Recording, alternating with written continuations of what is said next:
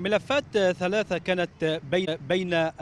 ما حمله الرئيس المصري عبد الفتاح السيسي خلال زيارته في العيد الوطني للهند والذي يتزامن مع مرور 75 عاما على العلاقات المصرية الهندية في هذا العام. مصر لديها خطة طموحة خلال الفترة المقبلة لتنويع علاقاتها الدبلوماسية والاقتصادية والتجارية وأيضا السياسية مع مختلف دول العالم. وكما قامت خلال الفترات الماضية بتوطيد العلاقات مع الصين وروسيا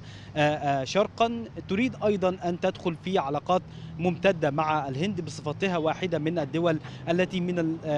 المتقدمة بشكل كبير في التكنولوجيا. وهذا ما تسعى إليه مصر خصوصا وأن الرئيس المصري تحدث خلال المؤتمر الصحفي الذي عقد قبل ساعات قليلة من الآن مع رئيس وزراء الهند حول العديد من النقاط أبرزها تشجيع السياحة الهندية خلال الفترة المقبلة بدعم شركات السياحة لزيادة حجم السياحة هنا في مصر بالإضافة أيضا إلى الحديث حول العلاقات الاقتصادية فيما يتعلق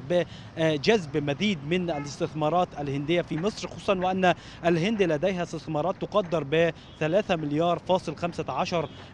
في 50 شركة هندية هنا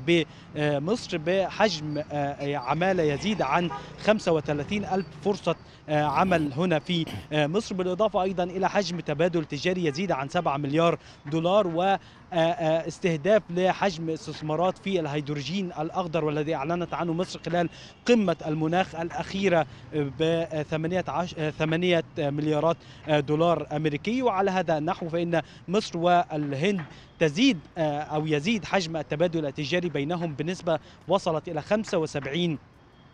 خلال العام الأخير قبل يعني مقارنة بالعام قبل الماضي. وعلى هذا النحو فإن العلاقات المصرية الهندية في